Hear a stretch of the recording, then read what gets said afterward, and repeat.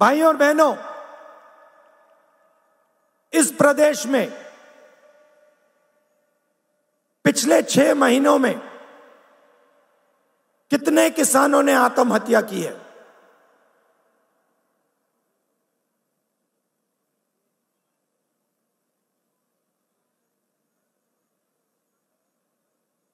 क्यों की है?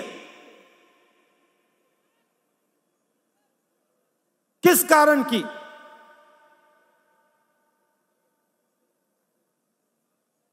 किसी भी किसान से बात करो। आपको कहेगा, हमें सही रेट नहीं मिलता। तंग आ गया हूँ मैं इन शब्दों को सुनकर। पहली बात बोलते हैं, मैं पूछता हूँ, कैसे हो? कहते हैं, सही रेट नहीं मिलता। दूसरा सवाल पूछता हूँ, क्या हो रहा है? कहते हैं, हमने बीमा का पैसा भरा।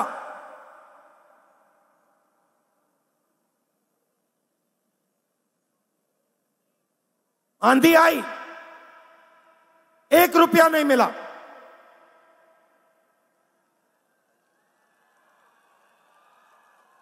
और फिर सवाल पूछते हैं, राहुल जी एक बात बताइए,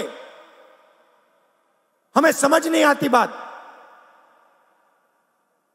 किसान आत्महत्या करता है, क्यों करता है? पचास हज़ार रुपए का कर्ज होता है, लाख रुपए का कर्ज होता है। और लाइन लग जाती है। हज़ारों किसान आत्महत्या करते हैं। पचास हज़ार रुपए का कर्ज होता है, एक लाख रुपए का कर्ज होता है। कितने किसानों ने मुझसे पूछा? राहुल जी, हमें एक बात समझा दीजिए, हमने क्या गलती की?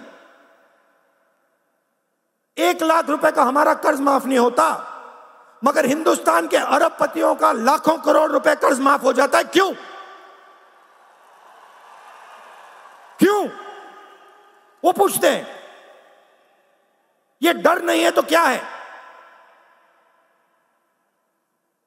और ये ऐसे ही नहीं फैला है। पहले भी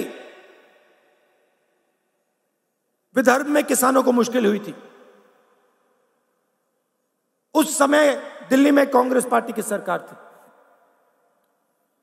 हमने विदर्भ के किसानों की आवाज़ सुनी और एकदम विदर्भ को पैकेज दिया।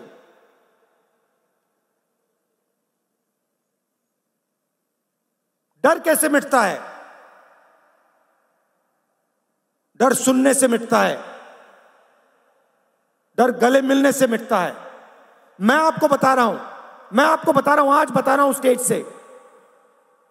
अगर महाराष्ट्र के चीफ मिनिस्टर, अगर हिंदुस्तान के प्रधानमंत्री दिल खोलकर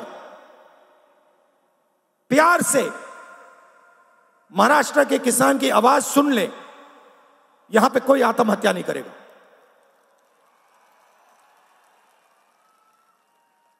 क्योंकि अगर उन्होंने दिल खोलकर आवाज़ सुनी तो जो किसान सह रहा है, जो उसके दिल में दर्द है, उसे वो समझ जाएँगे। और अगर उसे समझ जाएँगे तो कुछ ना कुछ मदद वो किसान की कर देंगे।